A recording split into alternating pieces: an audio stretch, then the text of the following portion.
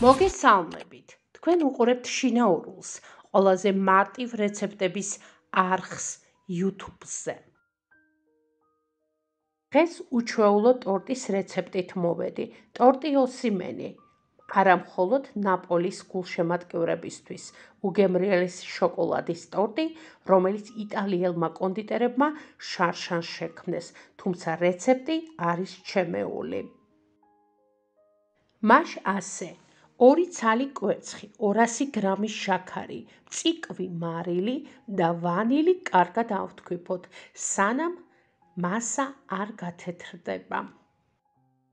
შემდეგ დავასხათ 200 მლ რძე და 80 მლ ზეთი და კარგად ავურიოთ.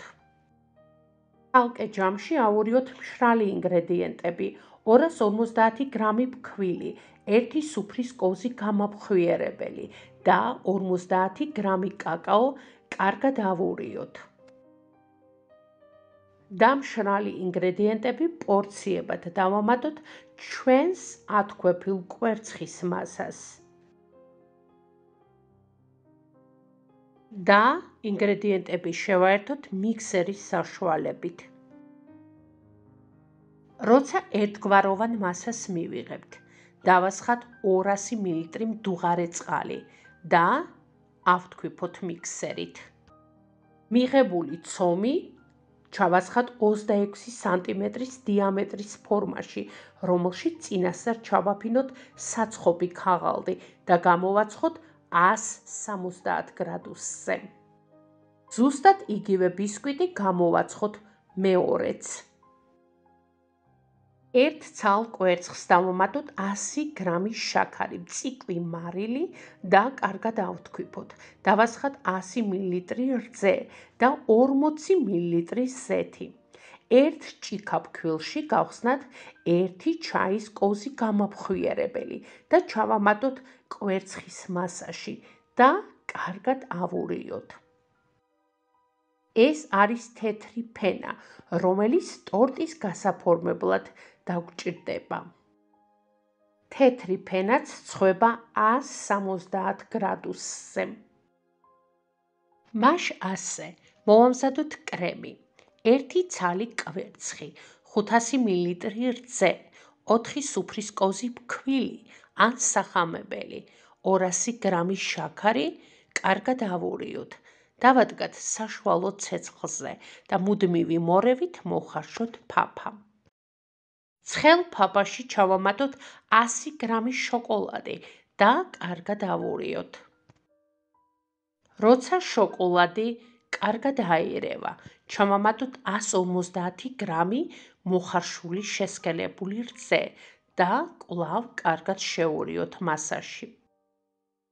შემდეგ დავამატოთ 100 გრამი караკი და კარგად ავურიოთ караკის სრულ გახსნამდე.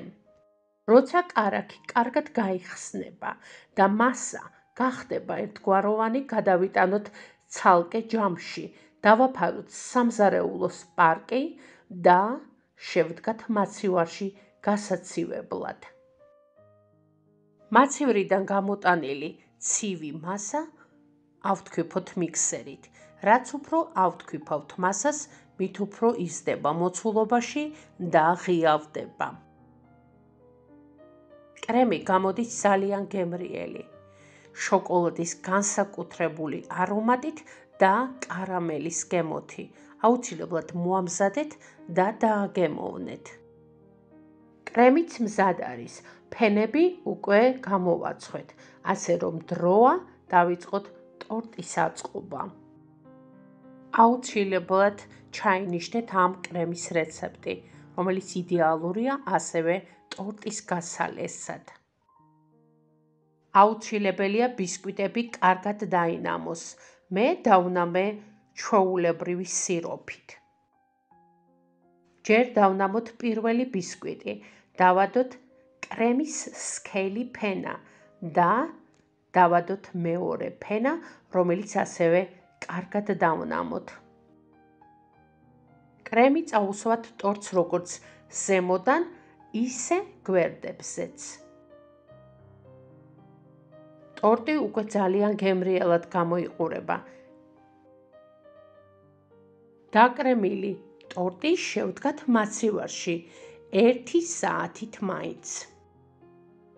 ოვამსადოთ სარკისებრი მინანქარი, 1 ჩაის კოზის ჟელატინი და 50 მლ წყალი დავდგათ გასაღვივებლად.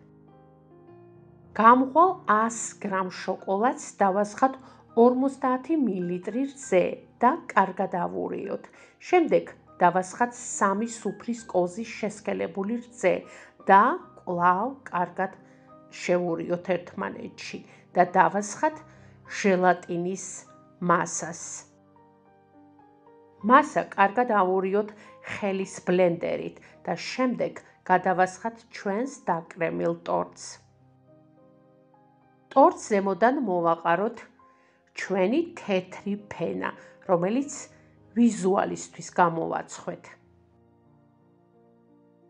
გავალღოთ 50 გრამი შოკოლადი. საცხობი ქაღალდისგან ამოვჭრათ ნიღაბი, რომელზედაც დავასხათ გამღვალი შოკოლადი და თანაბრად გადავანაწილოთ. როცა შოკოლადი ოდნავ შემაგრდება, მივადოთ ჩვენს დაკრემილ ტორტს. და კარგად მივაწებოთ, ხოლო შემდეგ მოვაშოროთ საცხობი ქაღალდი. უგემრიელესი ტორტი ოსიმენი მზად არის. არა მხოლოდ ნაპოლის გულშემატკივრებისთვის, არამედ გემრიელი შოკოლადის ტორტის მოყვარულთათვის აუცილებლად მოამზადეთ და დააგემოვნეთ. დღეს ამით გემშვიდობებით. არ დაგავიწყდეთ, გამოიწერეთ შინაურული, რომ არ გამოგჩეთ არც ერთი მარტივი რეცეპტი. მადლობა რომ გიყურეთ. მომავალ მარტივ რეცეპტამდე.